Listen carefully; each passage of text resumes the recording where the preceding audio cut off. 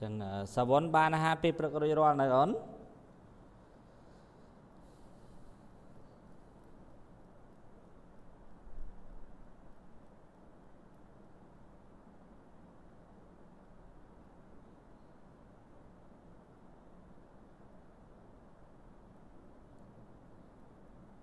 សង្ស័យសេវាខ្សោយហ្នឹងបានគ្នាយើង left left ណាហើយគ្រប់អស់ហើយសាវុនណា គៀតណាគៀតអឺណាបាទណាគៀតណាគៀតទទួលសម្លេងគ្រូបានទេណាគៀតអត់លឺសម្លេងណាគៀតមកវិញលោកគ្រូទទួលបានដល់លោកគ្រូអូខេខ្ញុំនិយាយអត់បាទបាទណាគៀតហ្នឹងហើយទទួលបានអត់នៅខាងក្រមនួននួនល្អអញ្ចឹងឯណោះអូនឈ្មោះលោកគ្រូក្រែងលោ spell ភាសាអង់គ្លេសខុង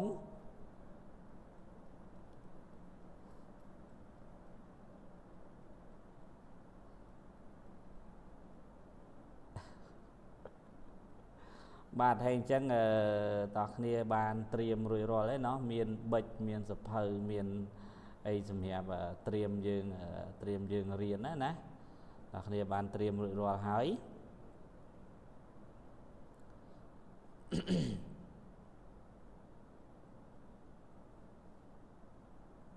អបហើយជាគ្នាយើងសេវាខ្សោយមើលទៅបាទដាច់ចេញចូលដាច់ចេញចូលបាទប្រហែលជាសេវាខ្សោយមើលទៅ សេនិតមានសេវាវិញនៅអូនសេនិត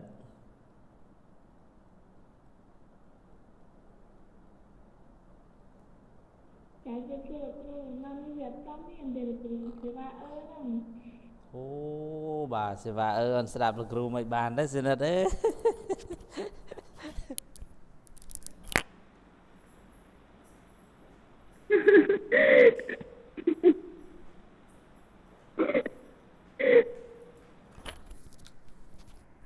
ស្ដាប់អត់បានរឿងមួយអានខ្លាចមើលគ្រូអត់ឃើញទៀតណាសនិតពីព្រោះមើលគ្រូអត់ឃើញទៀតបាទសេវាអត់សូវមាន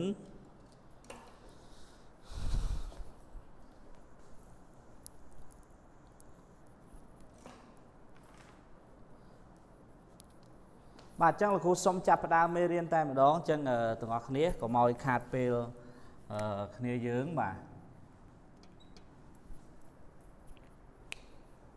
បាទ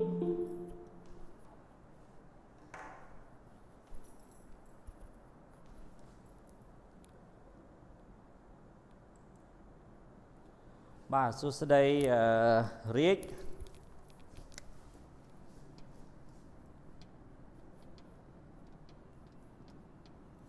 រាជអាចស្ដាប់រាជអាចស្ដាប់សំឡេងលោកគ្រូបានរាជ បាទបានលោកគ្រូបាទហើយអាហារពេលព្រឹករួចរាល់នៅរៀបយើងម៉ោង8ណាអូនខ្ញុំហៅហើយមិនអូខេយើងឲ្យហើយបាទអាហារបាទលោកគ្រូភាគច្រើនណាហើយតាម៉ោងម៉ោង7ជាងហ្នឹងលោកគ្រូញ៉ាំមកហើយអូនខ្លាចមកជួបអ្នកទាំងអស់គ្នាហើយ អត់មានពេលវេលាទៅញ៉ាំពិបាកអញ្ចឹងមកញ៉ាំមកហើយអាចមើលឃើញ slide លោកគ្រូទេបងប្អូនគ្នាអូខេបាទអញ្ចឹងមេរៀនដោយសារតែលោកគ្រូអត់មានអឺក្នុងក្រុមរបស់យើងឥឡូវនេះលោកគ្រូ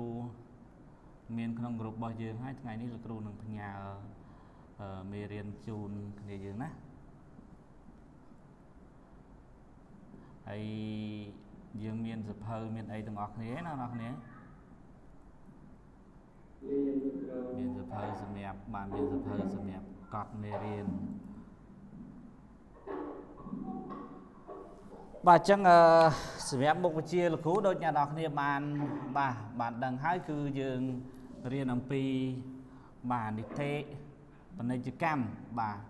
ពាក្យនីតិពាណិជ្ជកម្មយើងអាចនិយាយម្យ៉ាងទៀតយើងហៅថាបាទអឺច្បាប់ពាណិជ្ជកម្មអញ្ចឹងចំពោះមុខវិជ្ជាលោកគ្រូបាទបងប្អូនដឹងហើយគឺយើងរៀនអំពីពាណិជ្ជកម្មពាណិជ្ជកិច្ចអញ្ចឹងសង្ឃឹមថាបន្តិចទៀតទៅ បាទគ្នាយើងរៀនមេរៀននេះចប់អាចមានបាទ idea មួយចំនួននៅក្នុងការអីក្នុងការបង្កើតអាជីវកម្មអញ្ចឹងព្រមម្សិលមិញបាទលោកគ្រូដូចជាបានសំណេះសំណាល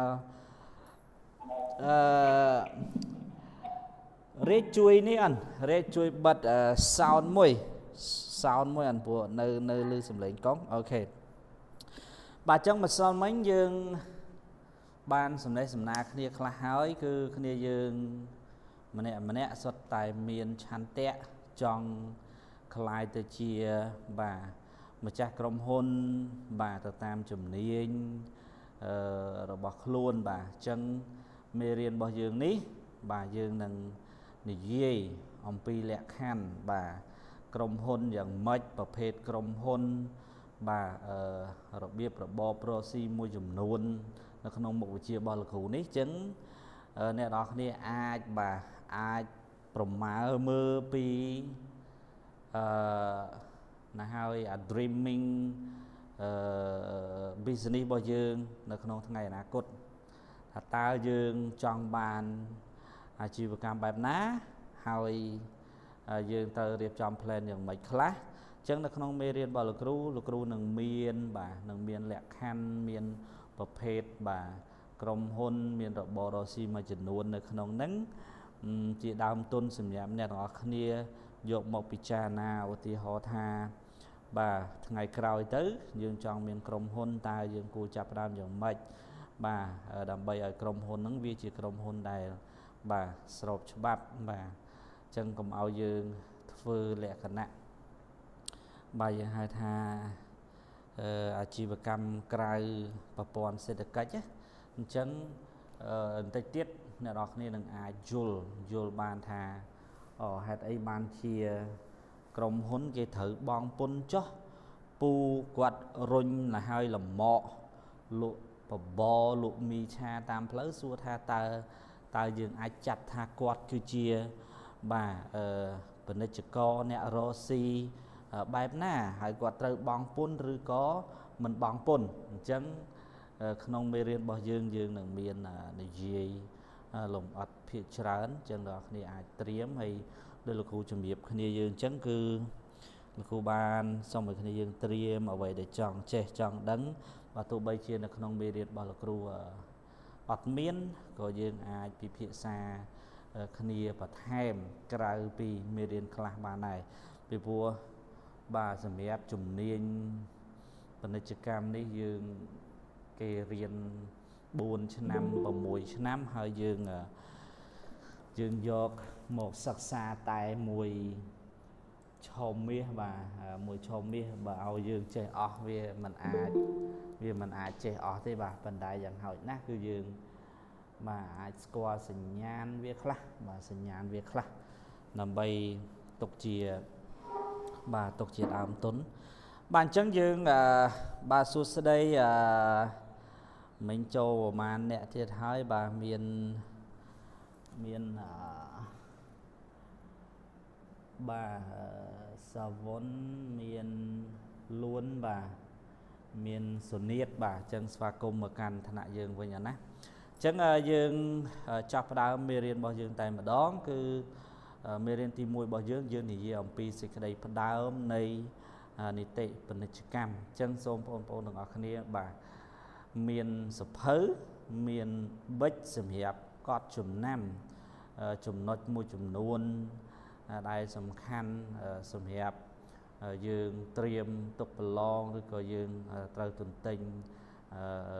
ឲ្យបានចេះអញ្ចឹងណាអញ្ចឹងសូមទាំងអស់គ្នាមានមានមានប៊ិចមានសភៅត្រៀមផងអឺហើយចង់ដឹងថាតើអ្នកទាំងអស់គ្នានោះបានត្រៀមកម្រិតណាលោកគ្រូសូមអធិស្ឋានវាជាបាទជាសិទ្ធិរបស់អ្នកទាំងអស់គ្នាទេនៅក្នុងការដែលរៀនអនឡាញអ្នកទាំងអស់គ្នាអាច រៀនគួយក៏បានគេងក៏បានវាព្រោះអីលោកគ្រូមើលអត់ឃើញ បាទលោកគ្រូមើលអត់ឃើញក៏ប៉ុន្តែអឺចំពោះអាកប្បកិរិយានៃការសិក្សារៀនសូត្រលោកគ្រូសុំឲ្យអ្នកនរគ្នាបានត្រៀមបាទយ៉ាងហោចណាស់មិនអត់យើងមានតុកមួយមកតុកមួយឬក៏កៅអីមួយកន្លែងអង្គុយស្រួលបួលដើម្បីអីបើយើងកត់ចំណាំមេរៀនរបស់យើងអឺកុំឲ្យអីអូនកុំឲ្យលេងរៀនអនឡាញ លើពូកបាទកាន់តែសភៅស្ដាប់គ្រូបាទមើលមុខគ្រូគ្រូនិយាយតែឯងទៅកន្លែងណាដែលអាចលួចសើចបានលួចសើចតែឯងអញ្ចឹងទៅបាទគ្រូនិយាយតែហ្នឹងដូចមិនតំណងនិយាយហ្នឹងដូចខុសបាទលោកគ្រូធ្វើមុខអញ្ចឹងគួរឲ្យចង់សើចបាទអញ្ចឹងកុំបាទយើងមានតុកមានប៊ិចមានសភៅប្រហាក់ប្រហែលនឹងយើងរៀននៅក្នុងថ្នាក់ដែរអញ្ចឹងទៅ ហាក់ប្រហែលនឹងយើងរៀននៅក្នុងថ្នាក់អីចឹងទៅកុំឲ្យវាបាទសុនីតបានត្រៀមរួចនៅអូនសុនីតចាព្រៀងនឹងត្រៀមរួចហើយជំរាបសួរលោកគ្រូបាទអូនបាទទូថ្នាក់ទាំងអស់គ្នាអូខេបាទបាទឃើញទេបងប្អូនគ្នាបាទអត់ឃើញផ្ញើលីងអត់អត់ឃើញផ្ញើលីងណាអូនសុនីតលោកគ្រូបានដោយសារអីលោកគ្រូអត់មានក្រុមមួយគ្នាយើងអញ្ចឹងលោកគ្រូផ្ញើលីងទៅខាង បុគ្គលិក AU អញ្ចឹងទៅគាត់ទើបតែផ្ញើ link ចូលណាអញ្ចឹងទៅលោកគ្រូផ្ញើ link តាំងពីម៉ោង7:56 57ម្លេះអញ្ចឹងអធិស្ឋានអូនដោយសារថ្ងៃនេះអ៊ីនធឺណិតវាមានបញ្ហាផងអញ្ចឹងចូលមកអ៊ីនធឺណិតដូចជារៀងបាទរៀងដាច់ផងអីផងបាទហើយដល់គ្នាអាចមើលឃើញក្តារខៀនលោកគ្រូហ៎ណាបើមើលឃើញប្រាប់ផងណាអូនក្រៃលោបាទពួកលោកគ្រូ មើលខ្លួនឯងគីឡូវាមិនច្បាស់ចឹងបើសិនទាំងអស់គ្នាមើលអត់ឃើញក្តារខៀនមើលអត់ឃើញមេរៀនក៏សូមជួយជំរាបលោកគ្រូវិញផងតើឥឡូវសូមបើកវីដេអូម្ដងម្នាក់ឲ្យសូមសូមបើកវីដេអូម្នាក់ម្នាក់ម្ដងសាកមើលបន្តិចអូនលោកគ្រូចង់ដឹងថាតើគ្នាយើងបានត្រៀមខ្លួនអីខ្លះបាទប្រយ័ត្នទៅលើពូករៀនឡើយណាអត់សនិតអូនសនិតមុនគេសនិតបាទ សនិតលោកគ្រូអាចអនុញ្ញាតសុំបើកវីដេអូមើលបន្តិចបានទេបាទឲ្យលោកគ្រូស្គាល់មុខផងព្រោះមើលក្នុងនេះមើលអត់ឃើញទេហើយតើសនិតអង្គុយរៀននោះគឺអង្គុយរៀននៅតុកឬក៏នៅទីតាំងណាដែរ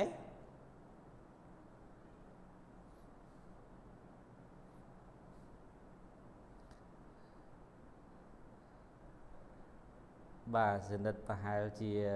Wi-Fi អត់មានសេវាបាទ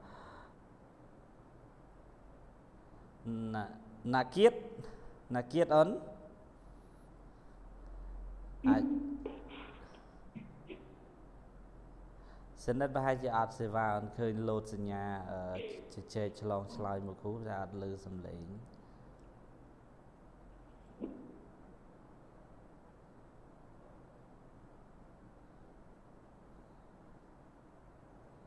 បាទណាគៀតអូនណាគៀតលើសំឡេងលោកគ្រូទេ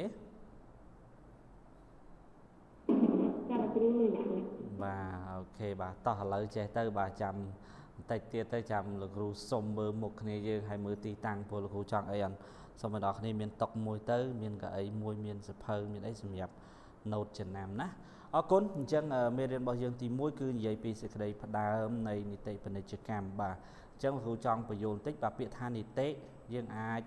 ប្រើនីតិក៏បានឬក៏យើងអាចប្រើថាច្បាប់ក៏បានណា ចឹងពេលខ្លះគាត់ប្រើច្បាប់ពាណិជ្ជកម្មឬក៏ពេលខ្លះទៅគេប្រើពាក្យថានីតិពាណិជ្ជកម្មបាទអញ្ចឹងមានន័យថាមេរៀនទី1របស់យើងយើងនឹងនិយាយអំពីដើមកំណើតនៃការចាប់ផ្ដើមរបស់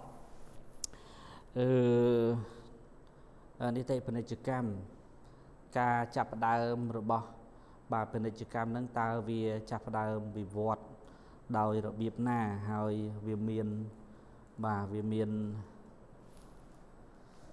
អូបាទលោកគ្រូសុំបន្តិចនេះយើងគ្រូសុំបន្តិចជាងទៅដល់ផ្ទះអឡូជាង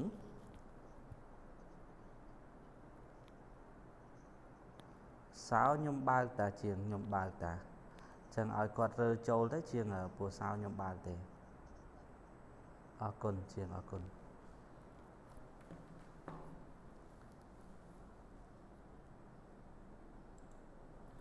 បាទអញ្ចឹងមានន័យថាយើងនឹងនិយាយពីដើមកំណើតការចាប់បដិសន្ធិរបស់ពាណិជ្ជកម្មហ្នឹងតើវាចាប់ដើមដោយរបៀបណានៅឆ្នាំណាហើយវាវិវត្តហើយទីតាំងរបស់បាទច្បាប់ពាណិជ្ជកម្មហ្នឹងវានៅទីតាំងមួយណាពីព្រោះបើនិយាយពីរឿងច្បាប់យើងមានច្រើនអនបាទយើងមានច្បាប់ហិរញ្ញវត្ថុច្បាប់រដ្ឋបាលបាទច្បាប់រដ្ឋបវេនីបាទច្បាប់ព្រហ្មទណ្ឌបាទអឺអញ្ចឹងយើងនឹង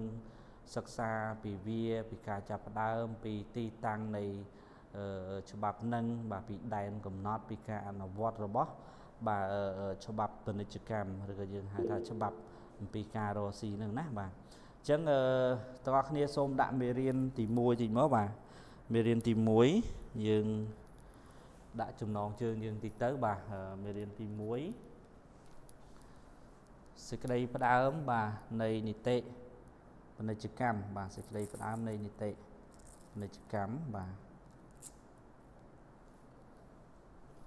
ហើយលេខរម៉ាំងទី1គឺយើងនិយាយពីលក្ខណៈទូទៅ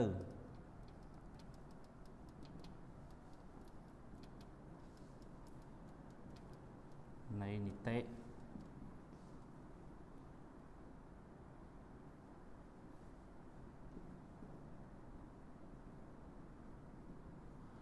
បាទអឺលេខរម៉ាំងទី1គឺយើងនិយាយអំពីលក្ខណៈទូទៅរបស់អឺ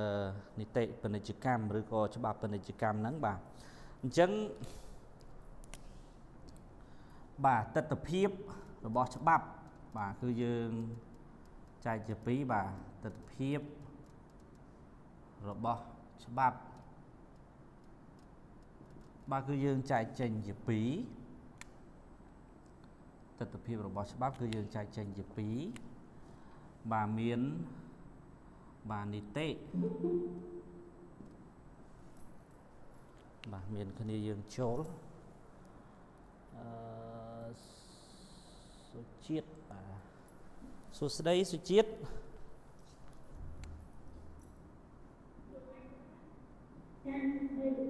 បាទខេសុជាតិយើងចាប់ផ្ដើមមេរៀនយើងហើយអូនអញ្ចឹងអាចចាប់ផ្ដើមបាទ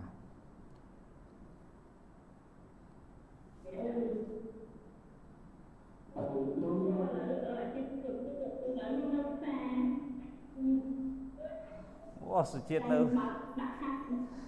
បាទសុជាតិនៅផ្សារណាអូនចាអូបាទមមាញឹកណាអូនសុំច្បាប់ម៉ាក់ម៉ាក់អើយបាទដាក់ដាក់កាសចនដាក់កាសស្ដាប់ណា បាទអញ្ចឹងចំពោះទស្សនភាពរបស់ច្បាប់បាទទស្សនភាពរបស់ច្បាប់គឺយើងមាន2ទី1យើងហៅថានីតិវត្ថុវិស័យហើយទី2គឺយើងហៅថានីតិអតវិស័យបាទចំពោះច្បាប់បាទនីតិបាទនីតិវត្ថុវិស័យនេះមានន័យថាជាច្បាប់សពសារពើ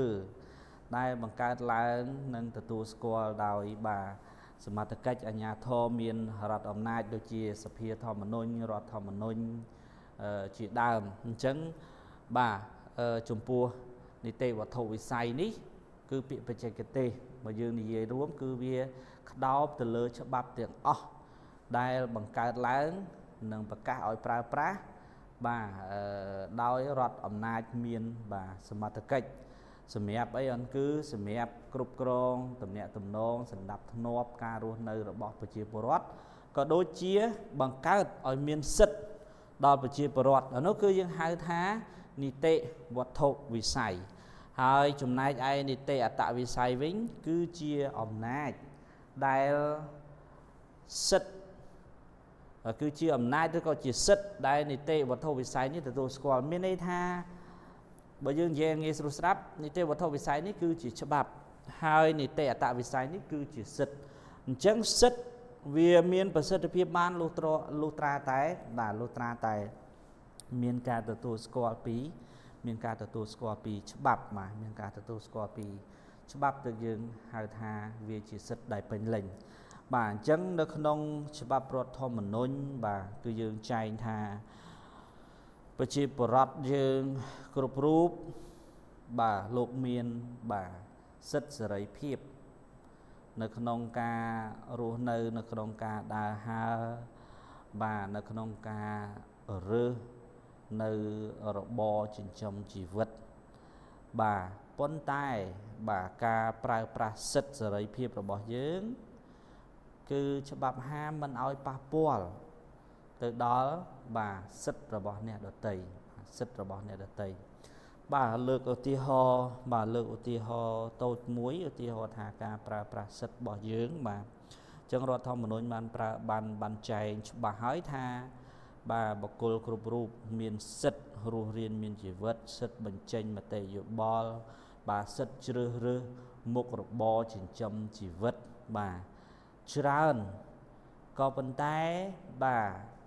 ការប្រើប្រាស់សិទ្ធិរបស់យើងនោះគឺមិនអោយប៉ះពាល់ទៅនឹងសិទ្ធិបុគ្គលដទៃអញ្ចឹងឧទាហរណ៍យ៉ាងម៉េចឧទាហរណ៍ថាបាទសុនីតមានសិទ្ធិជ្រើសរើសយកអាជីវកម្មដែលខ្លួនពេញចិត្តស្រឡាញ់ហើយវាសមទៅនឹងអីអនវាសមទៅនឹងសមត្ថភាពរបស់ខ្លួនឯងនេះគឺជាសិទ្ធិរបស់សុនីតប៉ុន្តែបើសិនជាអីអូនឧទាហរណ៍ថាលោកគ្រូបើក អឺសន្តាគារមួយឈ្មោះ Forest King Hotel ចឹងចោះបាទ logo របស់លោកគ្រូលោកគ្រូដាក់ logo រូបខ្លាអីចឹងទៅបាទអញ្ចឹងលោកគ្រូក៏មានសិទ្ធិដែរលោកគ្រូមានសិទ្ធិបង្កើតអាជីវកម្មរបស់ខ្លួនឯងអញ្ចឹងលោកគ្រូស្រឡាញ់ស្រឡាញ់មុខរបរមួយគឺហៅថាអឺសន្តាគាបាទបដិសន្តារកិច្ចសន្តាគា ការផ្ដល់សេវាកម្មចឹងទៅស្រាប់សុនីតគាត់ស្រឡាញ់ខាងនឹងដែរបាទស្រឡាញ់ខាងនឹងដែរលោកគ្រូបើកសន្តាគារ Forest King នឹងមួយមុន បាទទៅចុះបញ្ជីនៅបញ្ជីពាណិជ្ជកម្មបាទស្នើមានទាំងឈ្មោះមានទាំងទីតាំងមានទាំងលក្ខន្តិកៈមានទាំងគោលដៅនៅក្នុងការអីគោលដៅនៅក្នុងការប្រកបរបរអាជីវកម្មផ្ដល់សេវាកម្មទាំងអស់ហ្នឹងអញ្ចឹងច្បាប់ពាណិជ្ជកម្មក្រសួងពាណិជ្ជកម្មផ្ដល់ license ឲ្យលោកគ្រូ ឧទាហរណ៍ថាផ្ដល់ license ឲ្យលោកគ្រូបាទជាម្ចាស់ក្រុមហ៊ុននៃ Hotel Forest King ចោះចឹងប្រតិបត្តិការ1 2 3 4 5ដែលមាន logo រូបខ្លាហើយដែលមានទីតាំងនៅសៀមរាបចឹងចោះបាទ address នៅសៀមរាបចឹងចោះចឹងស្រាប់តែបាទអឺអានេះគឺច្បាប់ច្បាប់យ៉ាងម៉េចអូនចង់បង្កើតអាជីវកម្មណែឯងទៅសុំច្បាប់បាទទៅសុំច្បាប់ នៅមន្ទីរឬក៏នៅក្រសួងពាណិជ្ជកម្មអញ្ចឹងនៅពេលដែលបាទមន្ទីរពាណិជ្ជកម្មបានផ្ដល់សិទ្ធិឲ្យយើងហើយផ្ដល់ឈ្មោះឲ្យយើងហើយមានន័យថាយើងទទួលបានសិទ្ធិជាអីអត់យើងទទួលបានសិទ្ធិជាម្ចាស់ក្រុមហ៊ុនឬក៏ម្ចាស់ហូតែលឈ្មោះ Forest King ហ្នឹងអញ្ចឹងវាពាក់ព័ន្ធគ្នាជាមួយនឹងច្បាប់ហើយនឹងការទទួលស្គាល់នៃសិទ្ធិទាំងមួយគឺវាពាក់ព័ន្ធជាមួយអីនី តិវត្ថុវិស័យហើយនិងនីតិអត្តវិស័យនេះអញ្ចឹងអានេះគឺជាសិទ្ធិសេរីភាពរបស់លោកគ្រូមួយច្បាប់កំណត់អញ្ចឹងលោកគ្រូទៅសុំតាមច្បាប់ហើយលោកគ្រូទទួលបានសិទ្ធិនឹងហើយច្បាប់ការពារសិទ្ធិនឹងឲ្យលោកគ្រូទៀតអញ្ចឹងឧទាហរណ៍ថាសុនីតគាត់ស្រឡាញ់អតែលដែរបាទគាត់ចង់បង្កើតអាជីវកម្មមួយគាត់ចង់ក្លាយជាម្ចាស់សន្តាគារមួយដែរគាត់ស្រឡាញ់ឈ្មោះ Forest King នឹងដែរឧទាហរណ៍ថាអញ្ចឹងគាត់ស្រឡាញ់ឈ្មោះ Forest King នឹងដែរគាត់ សុំចុះបញ្ជីនៅបញ្ជីពាណិជ្ជកម្មដូចគ្នានៅនៅក្រសួងពាណិជ្ជកម្មដូចគ្នាគាត់ដាក់ខ្ញុំចង់បើកអតែលមួយឈ្មោះ Forest King ហើយខ្ញុំចង់ដាក់ logo បាទរូបខ្លា ហើយទីតាំងរបស់ខ្ញុំខ្ញុំចង់បើកនៅភ្នំពេញពីព្រោះអីសុនីតគាត់ដឹងថាអតែលលោកគ្រូបើកហ្នឹងគឺនៅសៀមរាបអញ្ចឹងឥឡូវគាត់អត់ធ្វើនៅសៀមរាបទេគាត់ទៅធ្វើនៅឯភ្នំពេញប៉ុន្តែគាត់ចង់បានឈ្មោះនឹងគាត់ចង់បាន logo នឹងគាត់ណាដូរតែទីតាំងអីចឹងទៅ អញ្ចឹងនៅពេលដែលសុនីតទៅសុំច្បាប់ពីក្រសួងពាណិជ្ជកម្មក្រសួងពាណិជ្ជកម្មគេនឹងឆែកមើលតើឈ្មោះនឹងមានគេបើកនៅបាទតើ logo នឹងមានគេប្រើនៅបាទអញ្ចឹងក្រសួងពាណិជ្ជកម្មគាត់ឆែកមកគាត់ឃើញថាអូខេឈ្មោះ Forest King ហ្នឹងគឺមានគេបើកហើយទីតាំងនៅខាងសៀមរាបបាទ logo គេដាក់រូបខ្លាចឹងចោះអញ្ចឹងនៅពេលដែលសុនីតគាត់ទៅសុំ បើកអាជីវកម្មសន្តាគារនឹងដោយលោកគ្រូដែរអញ្ចឹងទៅដល់ក្រសួងពាណិជ្ជកម្មគេបដិសេធហើយពីព្រោះអីលោកគ្រូបានសុំសិទ្ធបើកមុនហើយអញ្ចឹងនៅពេលដែលចុះបញ្ជីពាណិជ្ជកម្មហើយលោកគ្រូបងពុនប្រថាប់ត្រាបងពុនអីហើយហ្នឹងទោះបីជាបាទអ្នកផ្សេងគាត់ចង់មកបើកឈ្មោះដូចគ្នា logo ដូចគ្នាហ្នឹងក៏បញ្ជីក៏បាទក្រសួងពាណិជ្ជកម្មគេមិនអនុញ្ញាតដែរពីព្រោះអីប៉ះពាល់ជាមួយនឹងសិទ្ធិរបស់លោកគ្រូ ដែលលោកគ្រូបាទបានសុំសិទ្ធិមុនមកធ្វើអាជីវកម្មហ្នឹងឈ្មោះហ្នឹង logo ហ្នឹងអញ្ចឹងឧទាហរណ៍មួយទៀតអត់ដូចជាអីឥឡូវនេះយើងឃើញសម្បូរណាបាទសម្បូរសម្បូរអីសម្បូរអឺ brown cafe ឧទាហរណ៍ថា brown cafe តិចលេងបាទសុជាតិសុជាតិគាត់ថាអូខ្ញុំធ្វើកណីយូរហើយចឹងក៏ចេះ គិតគូរចាត់ចែងការរៀបចំរចនាសម្ព័ន្ធចរន្តសេដ្ឋកិច្ចចរន្តលុយហិរញ្ញវត្ថុអីនៅក្នុងក្រុមហ៊ុនមួយបានយ៉ាងល្អអញ្ចឹងឥឡូវខ្ញុំចង់បង្កើតអាជីវកម្មខ្លួនឯងខ្ញុំស្រឡាញ់បាទហាងកាហ្វេអញ្ចឹងចង់បើកហាងកាហ្វេមួយដែរដាក់ brown កាហ្វេបើឧទាហរណ៍ថាអញ្ចឹងអញ្ចឹងនៅពេលដែលអូនទៅសុំចុះបញ្ជីពាណិជ្ជកម្មបាទសុំចុះបញ្ជីបាទនៅក្រសួងពាណិជ្ជកម្ម ទៅដល់សុំដាក់ឈ្មោះហាងកាហ្វេរបស់ខ្ញុំគឺ brown cafe ហើយ logo អញ្ចឹងអញ្ចឹងមួយអញ្ចឹងទៅដូចនឹង brown របស់កាហ្វេរបស់គេអញ្ចឹងទៅដល់គេអត់ឲ្យយើងពីព្រោះអីគេត្រូវរក្សាសិទ្ធិកម្មសិទ្ធិបញ្ញារបស់ម្ចាស់ក្រុមហ៊ុនដើមអញ្ចឹងពេលដែលយើងទៅសុំបើកបាទ brown cafe ជាមួយគ្នាដែរអញ្ចឹងគឺ ជីពាណិជ្ជកម្មគេមិនអោយទេវាជា brand name របស់គេប៉ុន្តែបើយើងចង់ធ្វើយ៉ាងម៉េចអូនយើងទៅចរចាជាមួយនឹងបាទទៅចរចាជាមួយនឹងម្ចាស់ Brown Cafe ទៅថាឥឡូវខ្ញុំខ្ញុំចង់បើក Brown Cafe នៅសៀមរាបដោយសារតែឥឡូវនេះប្រជាជនបាទគាត់ក៏មានជីវភាពក្រាន់បើហើយអឺអញ្ចឹងខ្ញុំគិតថាការបើកហាងកាហ្វេ បាទវាមានប្រយោជន៍ច្រើនហើយវាអាចរកប្រាក់ចំណូលបានច្រើនគួរសមអញ្ចឹងខ្ញុំសុំទិញ franchise បាទ brand name របស់អ្នកឯងជ្រកក្រោមអីបាទជ្រកក្រោមផ្លាកឈ្មោះរបស់អ្នកឯងមានថាបុត្រសម្ព័ន្ធរបស់អ្នកឯងអញ្ចឹងទៅឬក៏ជាសាខារបស់អ្នកឯងអញ្ចឹងទៅអញ្ចឹងបើយើងទៅសុំអញ្ចឹងបើយើងទៅសុំអញ្ចឹងគឺគេគេឲ្យក៏ប៉ុន្តែគេមានលក្ខខណ្ឌ ឧទាហរណ៍ថាឥឡូវអ្នកឯងត្រូវទិញ license របស់ខ្ញុំ Brown Cafe នៅក្នុងមួយឆ្នាំបង់ license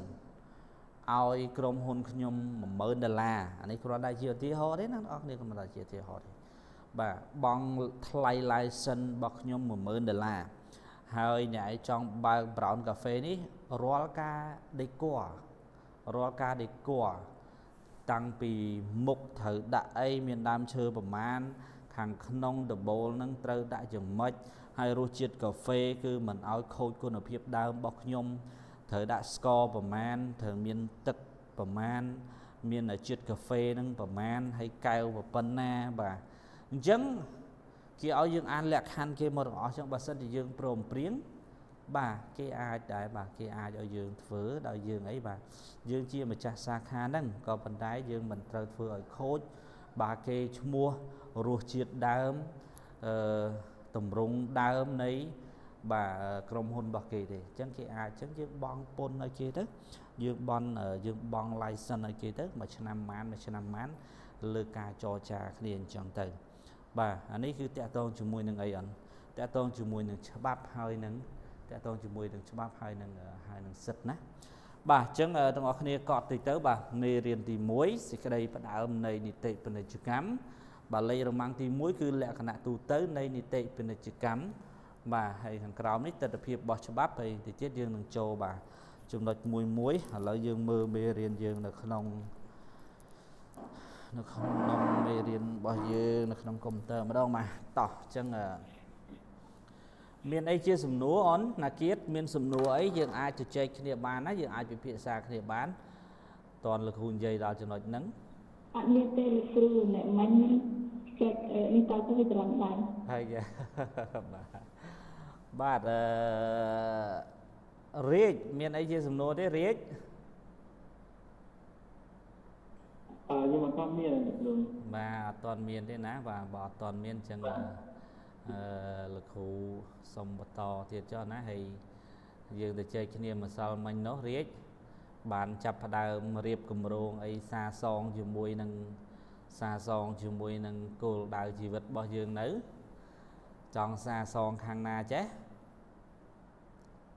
អសម្រាប់ខ្ញុំខ្ញុំអត់តគិតទៅគិតនេះសិនរៀនសិនរៀនសិនណោះបាទហ្នឹងហើយអញ្ចឹងរៀបយើងរៀននេះល្អហើយអនប៉ុន្តែគួរគិតពីឥឡូវណាគឺសាសងនេះមិនមែន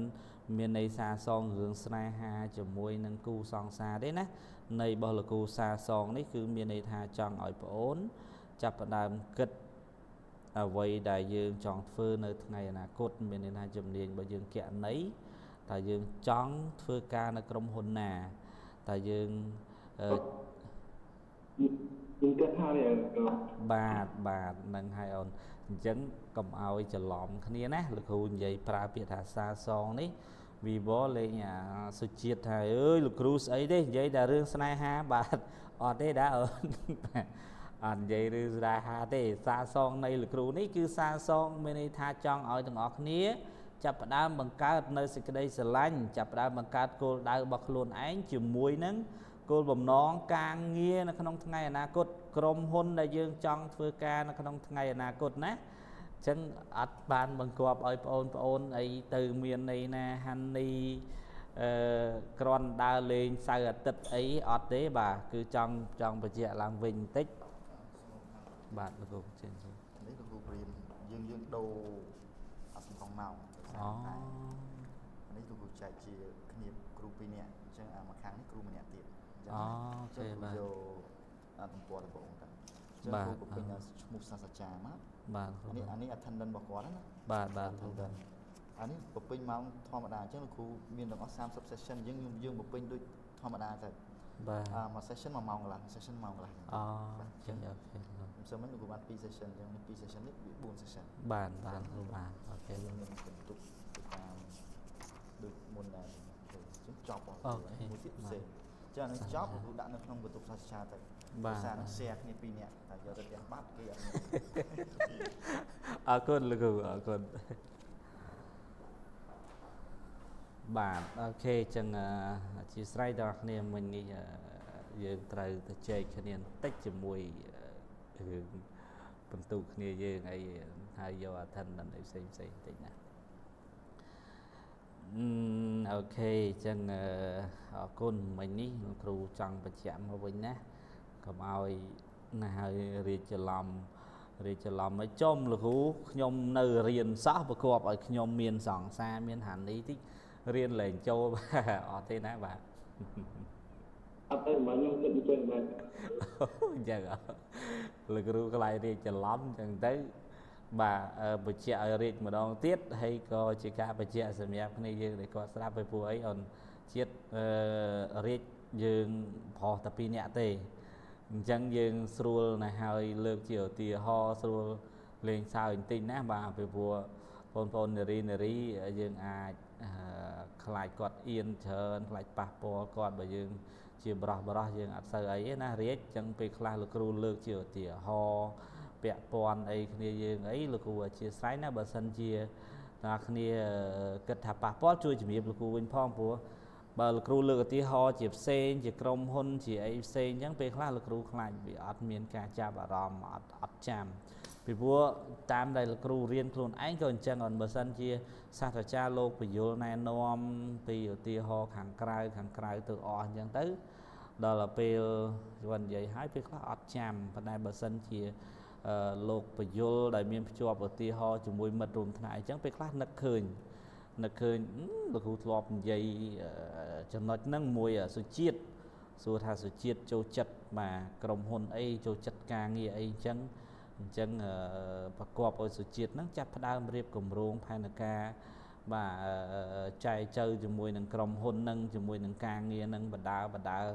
តនយើងកំពុងតែរៀនបាទយើងកំពុងតែស្វែងយល់ហើយអញ្ចឹងមានពេលវេលាបាទឆែករៀនផងឆែកមើលអឺគោលដៅក្រុមហ៊ុនការងារយើងនឹងផងអីចឹងទៅអញ្ចឹងវាអាចងាយចាំជាងការដែលលោកគ្រូលើកឧទាហរណ៍ថាហោះឥឡូវអឺបកគលឈ្មោះ John បាទ John បានបង្កើតក្រុមហ៊ុនមួយឈ្មោះបាទ Alexandra Co Ltd អានេះវាពិបាកក្នុងការដែលគ្នាយើងចាំស្រុំស្រុបផ្លិចអស់តែបើថាលើកមកបាទមានរាជបាទមាន ណាហើយសនីតមានសុជាតិមានគ្នាយើងនៅក្នុងក្រុមអីចឹងទៅ អាចក្រែងលោនឹងងាយស្រួលក្នុងការដែលចាំឧទាហរណ៍ពីព្រោះបើឲ្យទិញចាំសាច់មេរៀនវាអត់ងាយទេអត់ប៉ុន្តែបើយើងមានឧទាហរណ៍អីជាក់ស្ដែងខ្លះក្រែងលោគ្នាយើងវាស្រួលងាយងាយងាយចាប់បានណាបាទតោះអញ្ចឹងលោកគ្រូសូមបាទអានមេរៀនតែម្ដងបងប្អូនគ្នាមួយជាមួយលោកគ្រូមកហើយបើមើលអត់ឃើញ slide សូមជួយជំរាបលោកគ្រូវិញផងណា បាទមេរៀនទី1គឺយើងនិយាយពីសេចក្តីផ្ដើមនៃអឺនីតិពាណិជ្ជកម្មបាទ introduction to commercial law បាទអញ្ចឹងអឺយើងនឹងនិយាយពីការវិវត្តការចាប់ផ្ដើម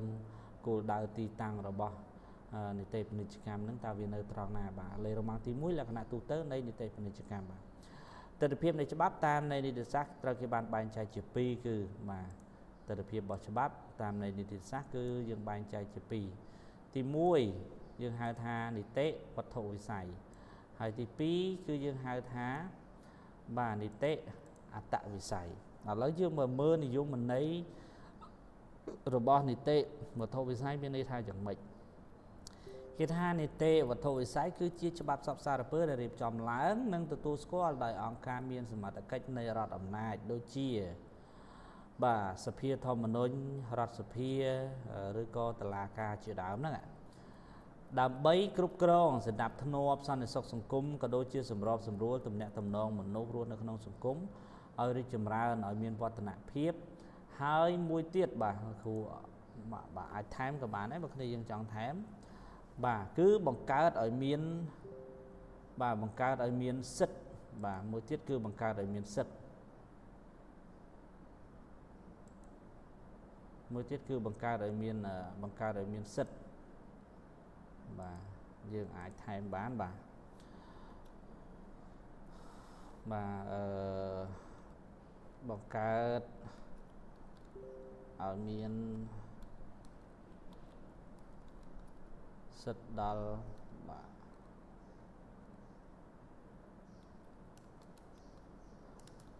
បាទបង្កើតឲ្យមានសិទ្ធដល់បុគ្គល បាទមួយទៀតគឺយើងអាចថែមយ៉ាងដូចនេះគឺអឺមិនត្រឹមតែបង្កើតដើម្បីអីអូនច្បាប់គេមិនបង្កើតគ្រាន់តែ ដើម្បីគ្រប់គ្រងឲ្យមានសន្តិភាពសន្តិសុខក្នុងសង្គមសម្របសម្រួលទំនាក់ទំនងរបស់មនុស្សដែលរស់ក្នុងសង្គមប៉ុណ្ណឹងឯងគឺត្រូវឲ្យមានការរីកចម្រើន ហើយគឺបង្កើតឲ្យមានសិទ្ធិដល់បុគ្គលម្នាក់ម្នាក់អញ្ចឹងមានន័យថានៅពេលដែលមានច្បាប់ បាទបុគ្គលម្នាក់ម្នាក់គឺមានបន្ទាត់មានន័យថាច្បាប់ដូចជាបន្ទាត់ដល់នេះច្បាប់បាទក្រិតដៅតម្រង់ទិសឲ្យមនុស្សដើរក្រិតដៅតម្រង់ទិសមិនច្បាប់គេប្រាប់ថាហាមបាទលួចប្លន់បាទគេក្រិតតែអញ្ចឹងបាទធ្វើអីធ្វើទៅធ្វើការងារអីក៏ដោយឲ្យតែសុចរិតទោះបីសុំទៀនក៏ដោយក៏មិនខុសច្បាប់ដែរ បាទគ្រាន់ថាកន្លែងខ្លះគេហាមមិនឲ្យសុំអីអញ្ចឹងទៅវាអាណាធិបតេយ្យវាខ្វក់មើលអញ្ចឹងអញ្ចឹងធ្វើអីធ្វើទៅបំពេញការងារអីប្រកបការងារអីបាទធ្វើទៅក៏ប៉ុន្តែកុំលួចបាទកុំប្លន់វាខុសច្បាប់អញ្ចឹងការងារអីក៏គេមានតម្លៃរបស់គេដែរបាទអ្នកឯងជាអ្នកគ្រប់គ្រងបាទសន្តាគារអ្នកជាប្រធានក្រុមហ៊ុនអ្នកជាបាទ អីផ្សេងផ្សេងបាទគាត់លក់បបរតាមផ្លូវគាត់លក់នំប៉័ងតាមផ្លូវលក់ស្ករគ្រាប់បាទលក់នាឡិកាតាមផ្លូវក៏ជាការងារស្របច្បាប់របស់គាត់ដែរអត់អត់មានអីខុសច្បាប់ទេខ្លាចតែគាត់លួចប្លន់អ្នកដតីយកទ្រព្យសម្បត្តិយករបស់អ្នកដតីទេទើបខុសច្បាប់ហ្នឹងគឺបង្កើតឲ្យមានឲ្យមានអីទាំងអស់គ្នាឲ្យមានសិទ្ធសិទ្ធណែឯងរើសទៅចង់រកស៊ីអីចង់ធ្វើការអីរើសទៅ បាទអញ្ចឹងគឺច្បាប់ហ្នឹងបង្កើតឲ្យមានសិទ្ធអញ្ចឹងបាទសិទ្ធធ្វើអីធ្វើទៅក៏ប៉ុន្តែ អ្នកដែលបានមកបំពេញសិទ្ធយើងអ្នកដែលធ្វើខុសនឹងច្បាប់ហ្នឹងគឺគាត់ត្រូវទទួលខុសត្រូវចំពោះមុខច្បាប់អញ្ចឹងទៅអញ្ចឹងអានេះគឺយើងហៅថានីតិនីតិវត្ថុវិស័យហ្នឹងគឺចង់សម្ដៅអញ្ចឹងអញ្ចឹងគេថាច្បាប់សັບសារពើមានច្បាប់អីអត់មានច្បាប់ចរាចរណ៍មានច្បាប់ បាទមានច្បាប់ពាណិជ្ជកម្មបាទមានច្បាប់ព្រហ្មទណ្ឌមានច្បាប់ហិរញ្ញវត្ថុមានច្បាប់បរដ្ឋបាល មានច្បាប់អីអញ្ចឹងទៅសពបែបយ៉ាងចឹងទៅអាហ្នឹងយើងហៅសរុបមកវិញគឺយើងហៅថានីតិវត្ថុវិស័យបាទយើងហៅសរុបមកវិញណាយើងហៅថានីតិវត្ថុវិស័យយ៉ាងទៅបាទហើយទស្សនវិជ្ជាទី2គឺយើងនិយាយអំពីនីតិអត្តវិស័យបាទនេះនិយមន័យរបស់វាអឺ នីតិអត្តវិស័យគឺជាសិទ្ធិអំណាចដែលនីតិវត្ថុវិស័យនឹងទទួលស្គាល់ចំពោះជនណាម្នាក់ដើម្បីការពារប្រយោជន៍ផ្ទាល់ខ្លួនរបស់បុគ្គលនោះអញ្ចឹងដោយលោកគ្រូជំរាបមកអញ្ចឹងយើងអាចកាត់យល់ឲ្យស្រួលគឺយើងថានីតិវត្ថុវិស័យនេះគឺជាច្បាប់បាទនីតិអត្តវិស័យនេះគឺជាសិទ្ធិដែលច្បាប់ទទួលស្គាល់ចឹងមកយើងនិយាយស្រួលច្បាប់ណាពីព្រោះ សិទ្ធដែលច្បាប់ទទួលស្គាល់មានន័យថាបាទច្បាប់បង្កើតអីនេះមិញនេះបង្កើតសិទ្ធដល់បុគ្គលអញ្ចឹងអីបាទច្បាប់បង្កើតសិទ្ធិឲ្យបុគ្គលអញ្ចឹងបង្កើតច្បាប់បុគ្គលហើយបាទគាត់ទទួលគាត់ទទួលស្គាល់ទៀតអញ្ចឹងមានន័យថាច្បាប់ការពារសិទ្ធិសេរីភាពដល់បុគ្គលនេះការពារនីតិអតវិស័យនេះបាទនីតិអតវិស័យនេះមានន័យថាការពារដល់សិទ្ធិ បុគ្គលម្នាក់ម្នាក់អញ្ចឹងទៅបាទអឺបាទយើងតទៅទៀតដល់នីតិពាណិជ្ជកម្មមានពីរបាទនីតិពាណិជ្ជកម្មមានលក្ខណៈ2សំខាន់សំខាន់បាទនីតិពាណិជ្ជកម្មមានលក្ខណៈ2សំខាន់សំខាន់មកយើងចាំផងពីព្រោះមេរៀនរបស់យើងយើងកំ pl ណាមុខវិជ្ជារបស់យើងគឺយើងនិយាយអំពីបាទពាណិជ្ជកម្មច្បាប់ពាណិជ្ជកម្មបាទ លក្ខណៈទី1យើងហៅថាលក្ខណៈរួមឬក៏យើងហៅថាលក្ខណៈទូទៅបាទលក្ខណៈទី1យើងហៅថាលក្ខណៈរួមឬលក្ខណៈទូទៅហើយលក្ខណៈទី2គឺយើងហៅថាលក្ខណៈដាច់ដោយឡែកឬក៏យើងហៅថាលក្ខណៈពិសេសលក្ខណៈដាច់ដោយឡែកឬក៏យើងហៅថាលក្ខណៈពិសេសបាទលក្ខណៈដាច់ដោយឡែកឬក៏លក្ខណៈពិសេស បាទអញ្ចឹងនេះគឺនៅក្នុងលេខរ៉ូម៉ាំងទី1អញ្ចឹងសូមបងប្អូនទាំងអស់គ្នាយកសភៅបន្តិចមកបាទយើងកត់មេរៀនចូលបន្តិចណាបាទយើងកត់មេរៀនចូលបន្តិចសូមសភៅសូមបិចមកបាទសិនិតបានត្រៀមបិចត្រៀមសភៅរួចហើយអូន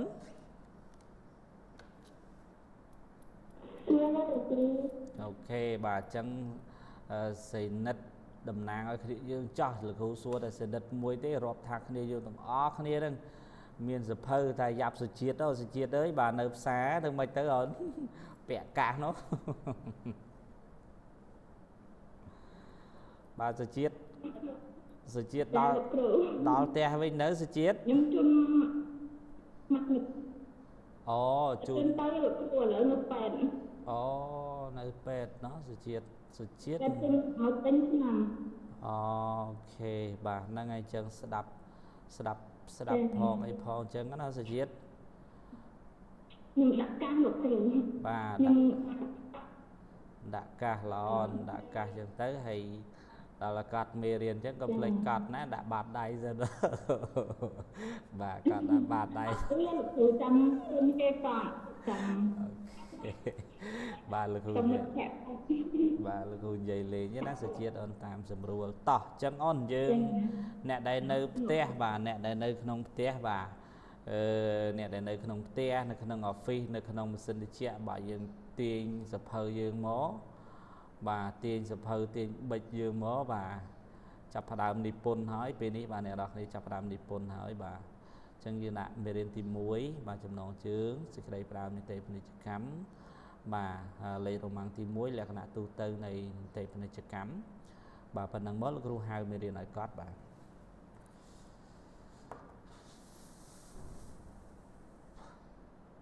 អឺបាទដល់ម៉ោងទៀតហើយលោកអើយអត់ផ្លេតបាទ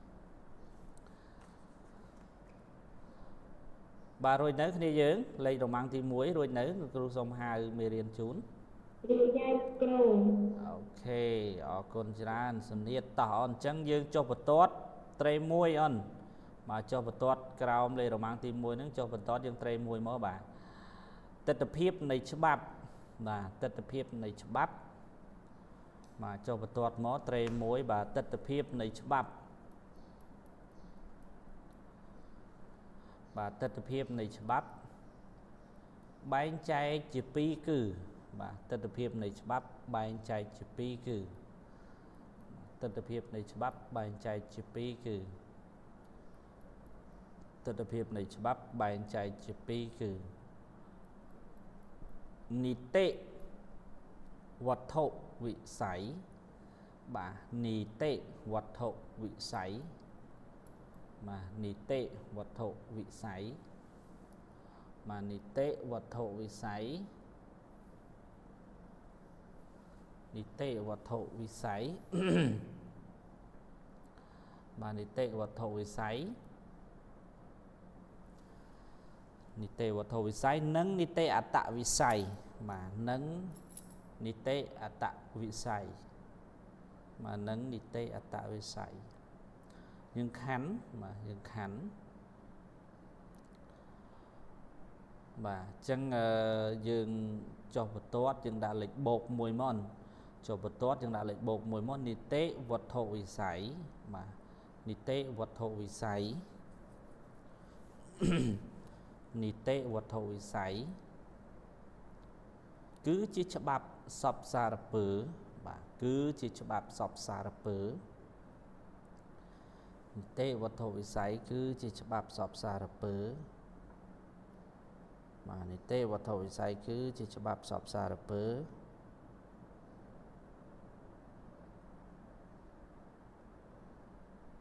គឺជាច្បាប់សពសារពើដែលរៀបចំឡើង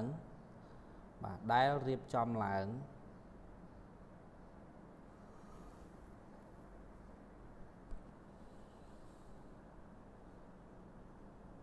ដែលរៀបចំឡើង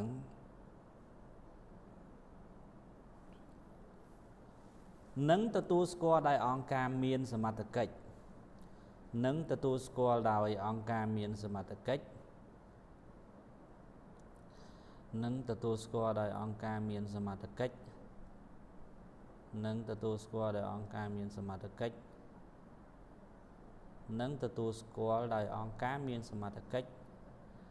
នៃរដ្ឋអំណាចដូចជាបាទនៃរដ្ឋអំណាចដូចជានៃរដ្ឋអំណាចដូចជានៃរដ្ឋអំណាចដូចជាសភាធម្មនុញ្ញបាទសភាធម្មនុញ្ញសភាធម្មនុញ្ញ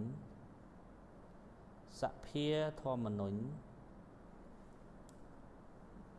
រដ្ឋសភា រដ្ឋសភា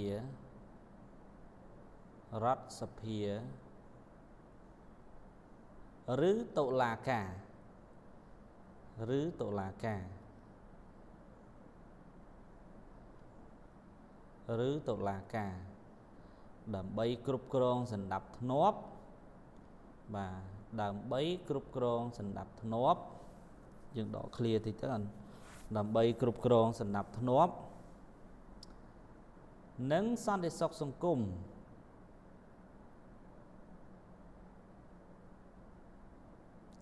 និងសន្តិសុខសង្គមបាទនិងសន្តិសុខសង្គមបាទយើងដក clear តិចទៅមិនដក clear តិចទៅក៏ដូចជាបង្កើតឲ្យមានសិទ្ធដល់បុគ្គលក៏ដូចជាបង្កើតឲ្យមានសិទ្ធដល់បុគ្គល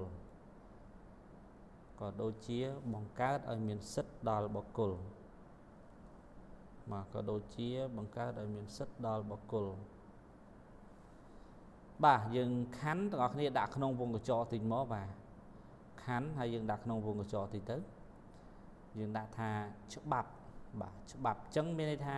នីតិវត្ថុវិស័យនេះបើអ្នកនរគ្នាហៅឲ្យខ្លីយើងហៅថាច្បាប់ណាអញ្ចឹងយើងខណ្ឌហើយយើងដាក់ក្នុងវងកញ្ចក់តិចទៅច្បាប់អញ្ចឹងមានន័យថា បើទាំងអស់គ្នាងាយស្រួលចាំទាំងអស់គ្នាបើគេសួរនីតិវត្ថុវិស័យហ្នឹងគឺជាអីយើងដាក់ថាជាច្បាប់អញ្ចឹងទៅដល់គេសួរថាចុះច្បាប់ជាអីច្បាប់គឺជាច្បាប់ទាំងឡាយដែលបង្កើតឡើងដោយបាទបង្កើតឡើងនិងរៀបចំឡើងទទួលស្គាល់ឡើងដោយអង្គការមានសមត្ថកិច្ចនៃរដ្ឋអំណាចដូចជាសភាធម្មនុញ្ញរដ្ឋធម្មនុញ្ញតុលាការជាដើមអញ្ចឹងទៅបាទបាទខណ្ឌយើងចុះបន្ទាត់លេខបូកមួយទៀតមកបាទចុះបន្ទាត់លេខបូកមួយទៀតមក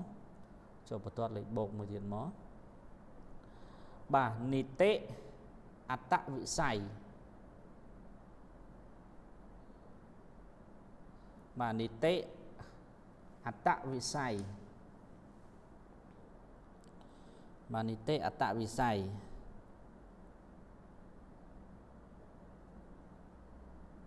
នីតិអត្តវិស័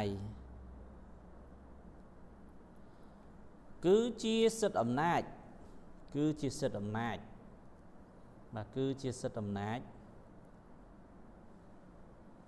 គឺជាសិទ្ធិអំណាច ដែលនីតិវត្ថុវិស័យទទួលស្គាល់បាទគឺជាសិទ្ធិអំណាច ដែលនីតិវត្ថុវិស័យទទួលស្គាល់គឺជាសិទ្ធិអំណាចតែនីតិវត្ថុវិស័យទទួលស្គាល់ចំពោះជនណាម្នាក់បាទចំពោះជនណាម្នាក់ចំពោះជនណាម្នាក់ ចំពោះជនណាម្នាក់ដើម្បីការពារប្រយោជន៍របស់ពួកគេ ដើម្បីការពារប្រយោជន៍របស់ពួកគេ ដើម្បីការពារប្រយោជន៍របស់ពួកគេបាទ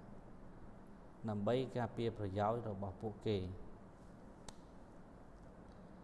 ដើម្បីការពារប្រយោជន៍របស់ពួកគេបើយើងខណ្ឌហើយយើងដាក់ក្នុងវងកញ្ចក់ទៅយើងដាក់ថាសិទ្ធ យើងដាក់ថាសិទ្ធបាទសិទ្ធសេរីភាពណាបងប្អូនសិទ្ធសេរីភាពណាយើងដាក់ថាសិទ្ធបាទអញ្ចឹងមានន័យថាយ៉ាងម៉េចអត់មានន័យថានីតិអតវិស័យហ្នឹងបើយើងហៅឲ្យស្រួលស្ដាប់យើងស្រួលចាំយើងហៅថាសិទ្ធត្មងទៅនីតិវត្ថុវិស័យយើងហៅថាច្បាប់នីតិអតវិស័យហៅថាសិទ្ធបាទនេះគឺអឺដើម្បីឲ្យបងប្អូនងាយស្រួលចាំតែប៉ុណ្្នឹងទេណាតែបើយើងតាម គោលការណ៍នៃច្បាប់បាទតាមពាក្យបច្ចេកទេសគឺយើងប្រើពាក្យហ្នឹងពាក្យណាហើយអឺនីតិវត្ថុវិស័យនីតិអតវិស័យហ្នឹងណាសុំមួយបន្ទាត់ទៀតចាំយើងសម្រាប់បន្តិចអនអឺ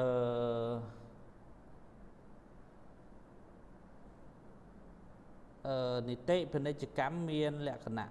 ពីរសំខាន់សំខាន់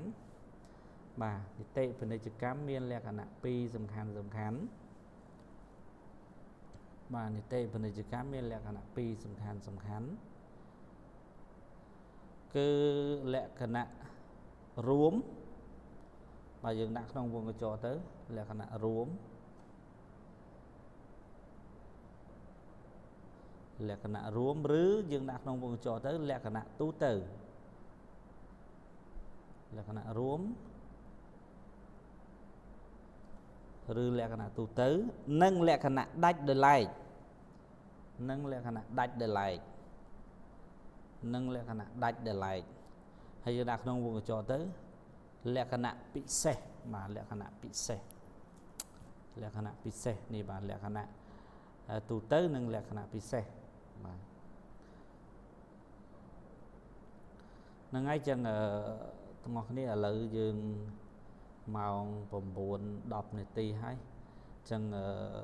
ជាគោលការណ៍យើងសិក្សា1ម៉ោងយើងសម្រាប់10នាទីឥឡូវទាំងអស់គ្នាសម្រាប់សិនចុះបើយើងសម្រាប់សិនចុះយើងចូលវិញនៅម៉ោង9 20នាទីណាសូមទាំងអស់គ្នាកុំយឺតអរគុណច្រើនតិចទៀតជួបគ្នាវិញបងប្អូនទាំងអស់គ្នា